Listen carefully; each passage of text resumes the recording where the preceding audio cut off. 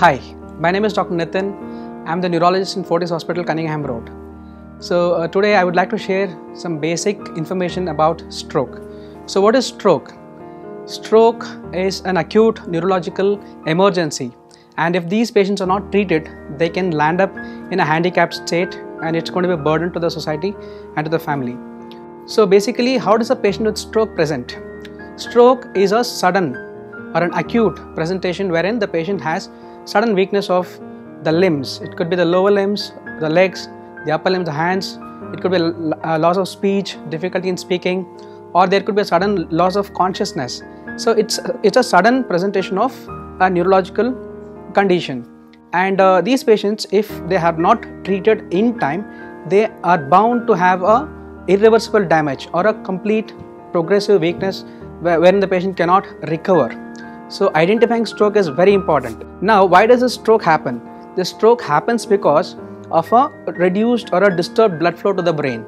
So reduced or disturbed blood flow to the brain means that either it could be a, a blockade in the blood flow in the form of a clot in the uh, blood vessels or it could be because of a bleeding in the brain. So there are two different uh, uh, scenarios where the stroke can happen and uh, the statistics says that around 85% of patients with stroke occur due to a clot in the blood flow to the brain. So uh, we have to know that uh, what are the scenarios wherein the patient can develop stroke. Generally, the patients with uh, hypertension, diabetes, heart disease, uh, these kind of patients with this kind of a background can have stroke in future. So controlling these medical conditions properly through regular checkups would be very useful. And this apart, uh, smoking, alcohol, uh, bad uh, food habits, stressful lifestyle, uh, no exercise. So these type of other risk factors could be a very very very uh, important reason why the patients can develop stroke. It is generally said that stroke happens in patients who are elderly, above maybe 45 years and above. That's the usual age group where the stroke can happen. But what is alarming is that uh, of late we have seen patients in younger age group, maybe you know less than 45. I have seen patients at the age of 25 to 30 coming with stroke. And uh, that is something which is not acceptable. Uh, so what could be the reason? The reason could be maybe the lifestyle is like changing compared to what our predecessors you know a few years back were. So uh, it is important that these things could, should be kept in mind whenever we, uh, we we handle patients with stroke. So as i said stroke is a acute neurological emergency that means that this, these type of patients have to be brought to the hospital as early as possible. So as far as treatment is concerned for patients with stroke, the treatment for, for patients with stroke is available.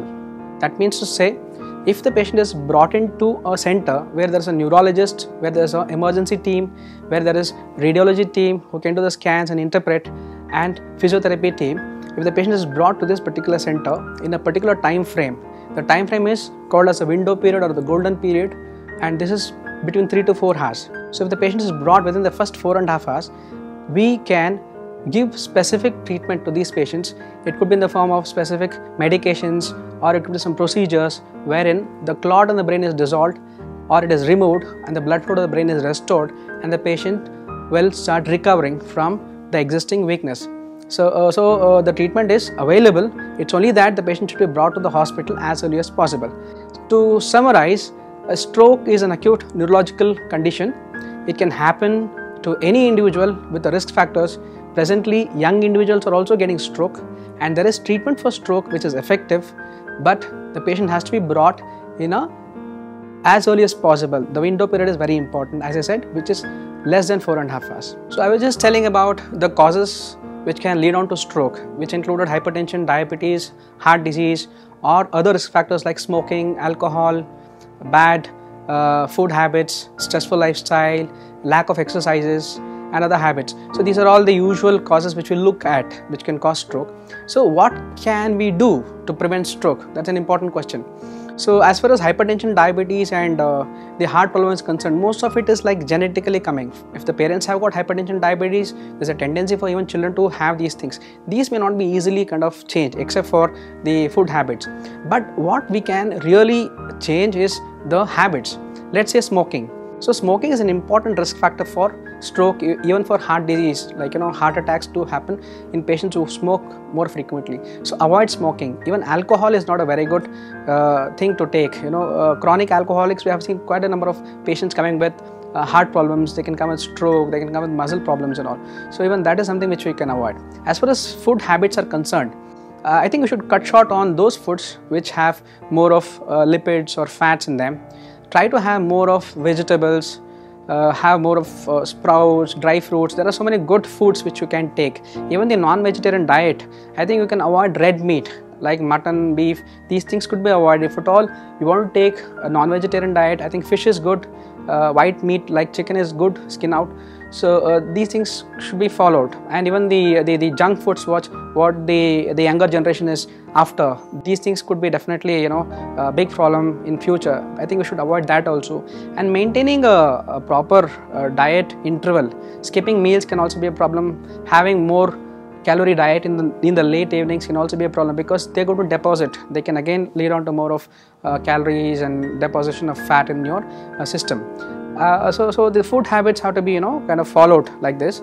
And as far as exercise is concerned exercise is a very important thing. Uh, uh, the exercise if it is done on a regular basis uh, at a specific time period i think can burn your calories. We can bring down the fats lipids in your system that's going to increase the tone of your muscles the tone of your heart muscles too. So it's good for the heart. If it is good for the heart then obviously it's going to be good for the brain too. So exercise is very important. Now we have got the, majority of uh, youngsters are now in the IT sector or in a job which is not very laborious. They're always most of them are desk jobs. They sit in front of the system. So spend a lot of time with the system and the day is over. So they're not uh, you know this is not going to uh, uh, tone up your uh, muscles including the heart muscles too. So it's as good as not exercising. So sedentary lifestyle is something which you should be very careful about not to get into it too much. Just have some exercises in between and you know you can have your own plan of doing the exercises even your uh, work schedule. So uh, these are some basic things which you can do um, should be of help you know to prevent these conditions Thank you.